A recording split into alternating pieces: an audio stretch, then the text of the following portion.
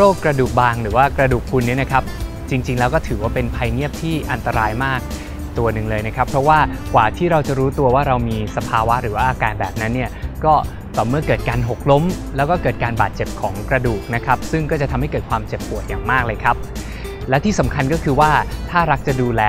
สุขภาพของกระดูกเนี่ยนะครับจะต้องเริ่มต้นตั้งแต่วันนี้นะครับเพราะว่าในเรื่องของร่างกายเราเนี่ยนะครับจะมีช่วงระยะเวลาหนึ่งนะครับที่จะสะสมในตัวแคลเซียมไว้ได้ดีที่สุดนะครับแล้วก็จะค่อยๆ ลดลงตามกาลเวลาครับ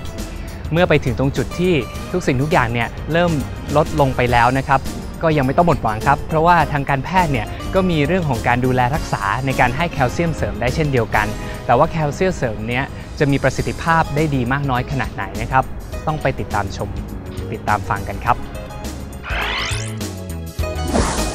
เมื่อไหรก็ตามที่ osteocyte เริ่มตายเนี่ยเราก็เชื่อว่าสมดุลของ bone remodeling ในกระดูกก็จะลดลงทำให้กระดูกมันเสื่อมมากขึ้นนะครับอีกอันหนึ่งที่เราจำเป็นจะต้องให้แคลเซียม supplement เนี่ยครับก็คือเรื่องของ kidney disease คือโรคไตบางชนิด ทีนี้ที่ท่านอาจารย์บุญส่งได้พูดไปแล้วก็คือเรื่องของเอนไซม์ที่เปลี่ยนวิตามินดี 25 วิตามินดีใช่ไหมครับ ที่ให้กลายเป็น active form ก็คือ 1 25 วิตามินดีเนี่ยเอนไซม์ที่อาจารย์บุญส่งพูดไปเนี่ยส่วนใหญ่เนี่ยก็จะสร้างที่ไตนะครับในคนไข้ที่เป็นโรคไตเนี่ยก็จะขาด active วิตามินดีได้ง่ายนะครับ แล้วก็อาจจะมี secondary hyperparathyroidism อย่างที่ท่านอาจารย์บุญส่งพูดไปตอนต้นนะครับ แล้วเพราะว่าพวกนี้เนี่ยเราก็อาจจะจำเป็นที่จะต้องดูแลเป็นพิเศษนะครับ ทีนี้เมื่อไหร่ก็ตามที่เรามีแคลเซียมมีความต้องการแคลเซียมเข้าสู่ร่างกายมากขึ้นเนี่ยนะครับ ทางหนึ่งที่เราทำได้เนี่ยก็คือเราก็จะให้เป็น oral calcium supplement ก็คือเรารับประทานแคลเซียมที่เป็นซึ่งส่วนใหญ่ก็จะเป็นเม็ดเนี่ยนะครับเข้าไปนะฮะทีนี้แคลเซียมเม็ดแต่ละชนิดเนี่ยมันก็ไม่ใช่ว่าจะได้ผลดีทุกชนิดนะครับ แต่ละชนิดเนี่ยก็จะมีข้อดีข้อเสียแตกต่างกันรูปแบบที่ ราคาย่อมเยาแล้วก็หาซื้อได้ง่ายเลยครับ ก็คือแคลเซียมคาร์บอเนตคือง่ายคือหินปูนนะครับวันนั้นเราทานหินปูนอย่างเงี้ยนะครับมันก็จะมีข้อดีครับก็คือราคาถูกนะฮะข้อเสียก็คือว่ามันละลายน้ำยากนะฮะแล้วก็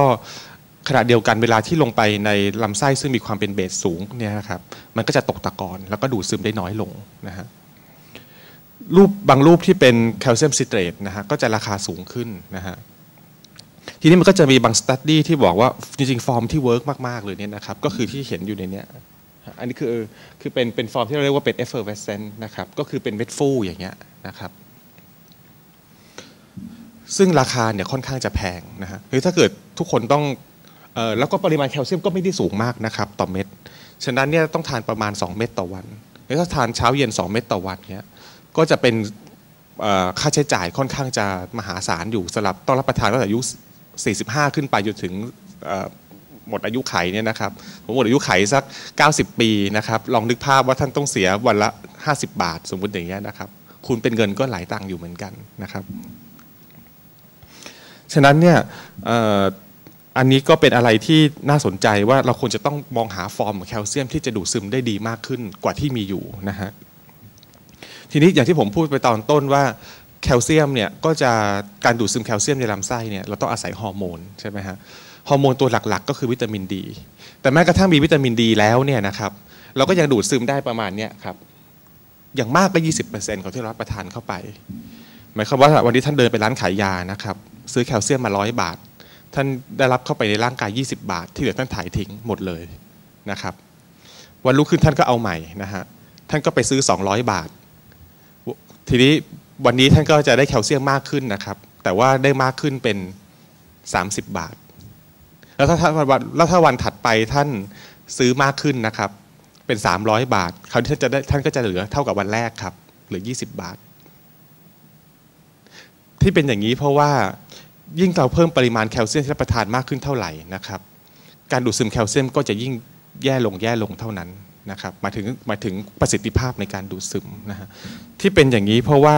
โปรตีนที่ใช้ขนส่งแคลเซียมเนี่ยมักจะหยุดทานทำงานอัตโนมัติ เมื่อไหร่ก็ตามที่ได้รับแคลเซียมเข้าไปสูงนะครับ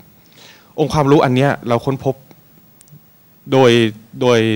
โดยการทดลองในแลบของเราเนี่ยนะครับ แล้วก็ซึ่งก็สอดคล้องกับที่ได้มีคนรายงานไว้บ้างก่อนหน้านี้นะฮะฉะนั้นโดยสรุปก็คือว่าจากความรู้ตรงนี้เรารู้ว่าการให้แคลเซียมเนี่ย เราคงไม่สามารถที่จะรับประทานตูมเดียว 1 เม็ดร้อยบาทเนี่ยเราจะได้ผลนะฮะเราควรจะต้องให้เป็นลักษณะเป็น divided dose คือต้องเป็นแบ่งแบ่งรับประทานนะครับ ซึ่งเดี๋ยวผมจะได้พูดต่อไปนะฮะฉะนั้นเนี่ยโดยสรุปก็คือว่ามันก็อย่างเงี้ยฮะ deceptively easy ก็คือถ้าทางการให้แคลเซียมซัพพลีเมนต์เนี่ยก็คงไม่ได้ไม่ได้ง่ายอย่างที่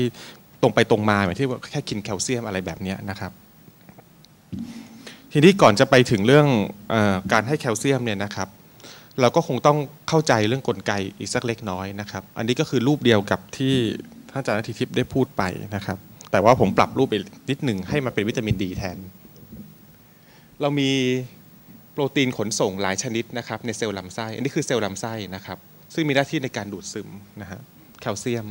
เรามีโปรตีนขนส่งเนี่ยหลายชนิดนะครับ แต่ละชนิดเนี่ยทำงานในภาวะที่แตกต่างกัน สุดขั้วเลยนะครับ ตัวอย่างเช่น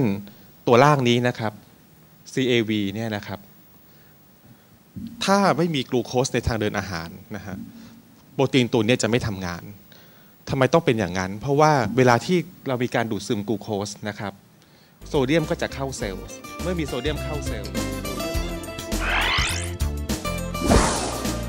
น่าตกใจมากนะครับสำหรับแคลเซียมสำเร็จรูปนะครับ 1 เม็ด